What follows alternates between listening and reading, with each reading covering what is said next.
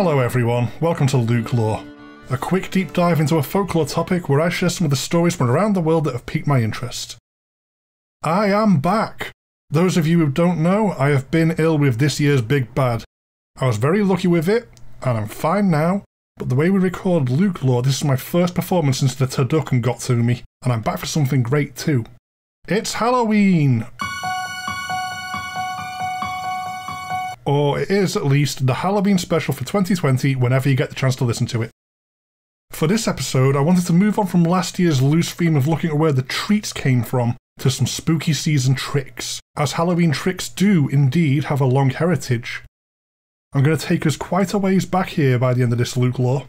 From modern mischief to the centuries old Christian story that named the jack o' lantern, all the way back to a witch up to some Samhain mischief. I'm pretty sure I kept pronouncing Samhain Samhain last year. Celtic and Gaelic cares not for the foolish weak Latin based alphabet. I'm pretty sure I'll call it Samhain again at some point though, but I'll do my best for this Halloween special if nothing else. Medieval Christian to modern day tricks. As I got settled down to dig into this topic, I expected a lot more cruelty, for lack of a better word. As I paddled about in the medieval traditions, around the time you would have the All Souls begging door to door in search of cake I covered last year, I started finding some neat little details. Children begging has always been a part of the holiday. Going door to door at Samhain offering to pray for the souls of the dead for scraps, then evolving to include singing and dancing along with picking up the medieval idea of guising in costume to avoid the notice of spirits around this time.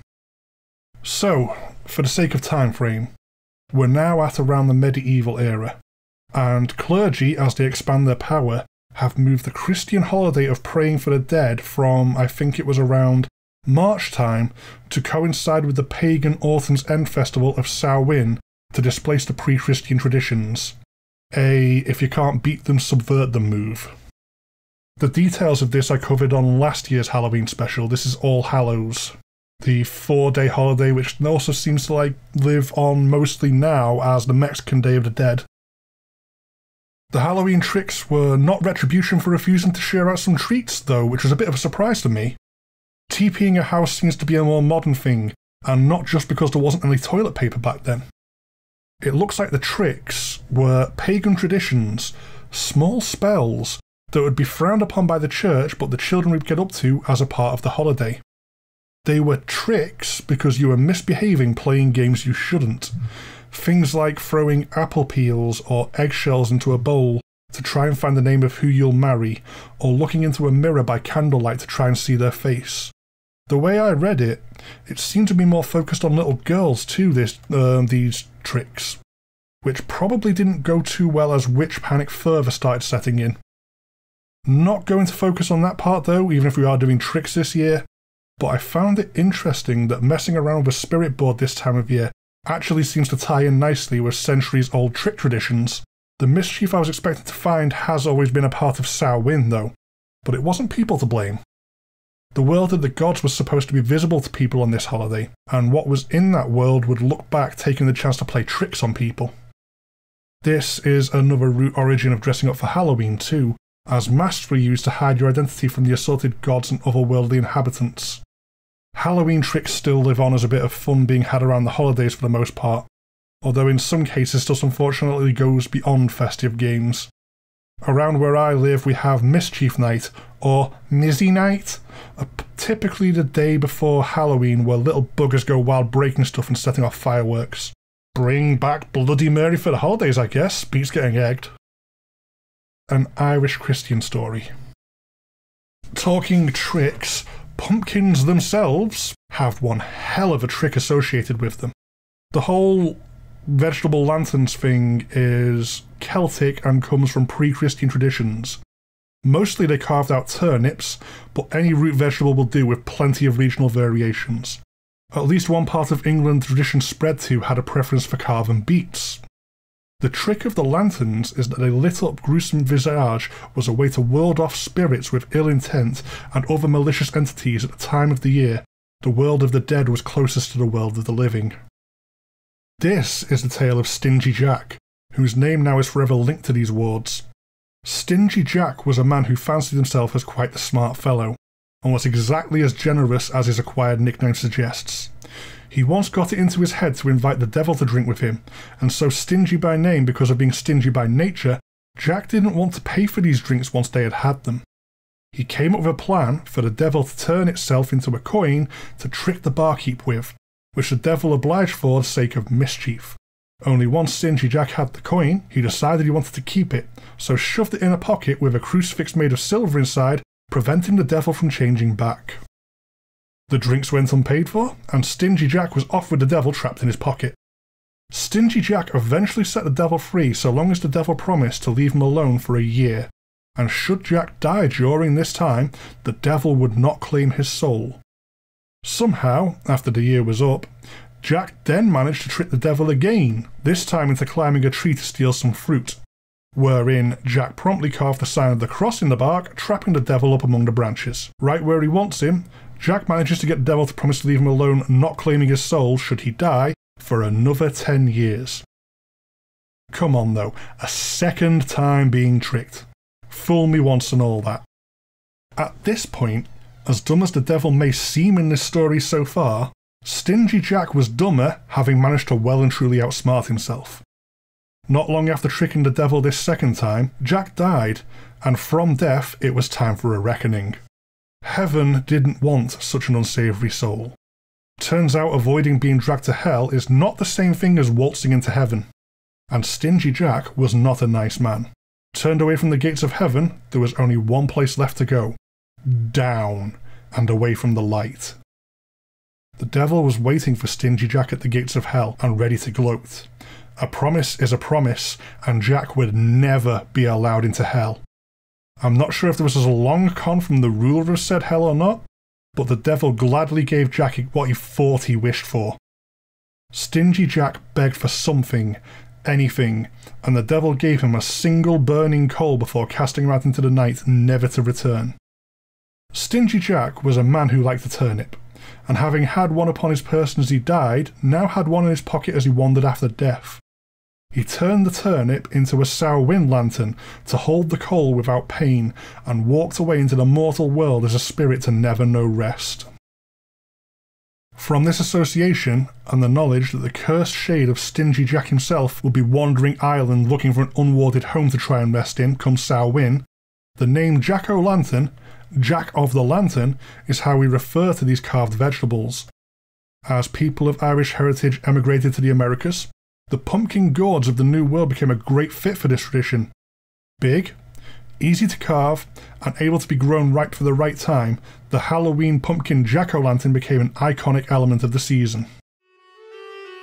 We're still in Ireland, but we're going back to pre Christian traditions. People and cultural traditions have been around a long time. We can go back before Halloween, before All Hallows Eve, way back to a Samhain story, for a story that involves a little bit of a trick war of otherworldly powers, centered on a blissfully ignorant idiot. Back in pre Christian Ireland, there was a tower among a brackish bog that was the home of the witch Alison Gross. Now, alarm bells should already be ringing here, and quite rightly so. A handful of Daedra troops together, and the rather on the nose name Gross should have people steering clear. But there's always that one guy, even 2,000 or more years ago, and so a Celtic that one guy defies the internal screaming of his self preservation instincts to venture forth across the bog that notorious witch Alison Gross calls home. This almost immediately goes badly, because of course it does. One encounter with a cranky witch later, our intrepid hero slash oblivious moron is turned into a worm and curses circle the tree in the bog until he eventually dies. Alison Gross would have been easy to spot and avoid, as like her name would hint at, she was supposed to be the ugliest of the witches of the time. I would bet my not insubstantial body weight in Halloween candy that this utter lemming felt the need to point this out when he bumped into her. Know what you should do? apart from obviously stay out of the bog of the notorious witch Alison Gross. See, it's that one over there with a tower, so maybe go around it. If you have to go into the witch's bog, bumping into the witch while you're at it, be polite as hell and apologise. You're probably still screwed, but hopefully not torturous transmogrification screwed. I'm not sure when this happened time wise relative to the rest of the year, but his existence as a worm circling a tree continued on to Samhain. I've mentioned cursed spirits and bored gods, both of whom were abroad on this strange day, but there's another faction to consider avoiding in Ireland when the barriers between worlds are thin. Brennan's special friends the Fae can be out and about enjoying the countryside on Samhain.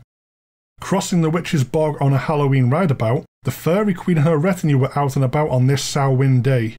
Probably a power move to assert dominance, given that this was the Fairy Queen we're talking about here. Coming across the now worm former dumb person, on a whim, the Fairy Queen turned him back into a man before continuing on her way. Probably less a good deed, and more another power move to mess with a seething Alison Gross. Here's a translated poem I found at this event. Oh, Alison Gross that lives in yon tower, the ugliest witch in the North Country. She's turned me into an ugly worm and guard me toddle around the tree. But as it fell out last Hallow even, when the Seely court was riding by, the Queen lighted down on a gowany bank, not far from the tree where I want to lie. She's changed me again to my own proper shape, and I no more toddle around the tree. From here, one of two things happened. A lesson was learned, and the moron fled the bog before the Fairy Queen left to annoy a different mortal than Alison Gross, or else he either hung around or tried to cross the witch's bog again someday, and a furious, scorned Alison Gross flayed him alive to make a stew. I'm leaning towards the bad end personally, given how dumb this guy was in the first place. Some people just will not learn, this feels like it was one of them. Very past tense. That is it for this Luke lore. I would like to confirm for anyone who wasn't yet sure that yes, I freaking love Halloween. Easily my favourite holiday. I know this year is casting a long and dark shadow, but as I record this, I truly hope everyone is having the happiest Halloween they can. Do whatever you can, even if you have to do it in isolation. Carve up a pumpkin, fire up that lantern to drive away Stingy Jack and any other spectral malcontents, then get some sweet treats and spooky movies on the go. Have a blast! These autumn and winter holidays that have grown out of Europe and now spread around the globe are all about living your life to spite the darkness, and in the worst year of living memory, it's the best possible time for them. Have a fantastic Halloween. I'll be reminding you all again to revel to spite the darkness later when we get to the Christmas special. If you do want to contact me, then there's the show's dedicated email, lukeloregsg at gmail.com, and the general show email, ghoststoryguys at gmail.com. Both myself and the main show are really easy to find on Facebook and Twitter if you want to make day to day contact, as well as there being a very active Instagram account a lot of the community gets involved with. If you want to support the show directly, definitely check out our Patreon at patreon.com slash ghoststoryguys. It'll get you access to all sorts of GSG goodies at different tiers, my incentive being that Luke Lore episodes go out to patrons early. As ever though, the absolute best thing anyone can do to support the show is to give it a listen. Share this around if you think you may know someone who may be interested, leave a review if you get the chance to help signal boost me, and most of all, I simply hope you enjoy what I'm doing here, and once again, have a fantastic Halloween. Goodbye for now.